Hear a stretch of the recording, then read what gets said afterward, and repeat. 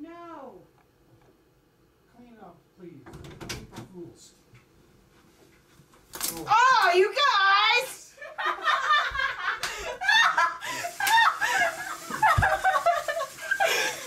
I bet your grandma helped.